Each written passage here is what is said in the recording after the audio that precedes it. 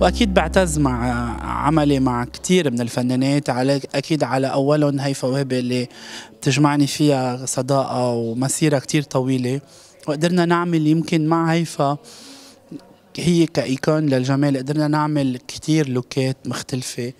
لا نجوى كرم كمان يلي بحبها كثير بحب أشتغل معها. لإليسا يلي كمان صار لي أكثر من 18 سنة بشتغل أنا وياها ولا يارا لكثير من الفنانات. بس برجع بقول لك إنه ما في privilège كل سيدة وكل فنانة لازم أعطيها أحسن ما عندي. en général الأخطاء الشائعة هي ان آه principe بتكون ال estompage أو ال blending يعني دمج الألوان.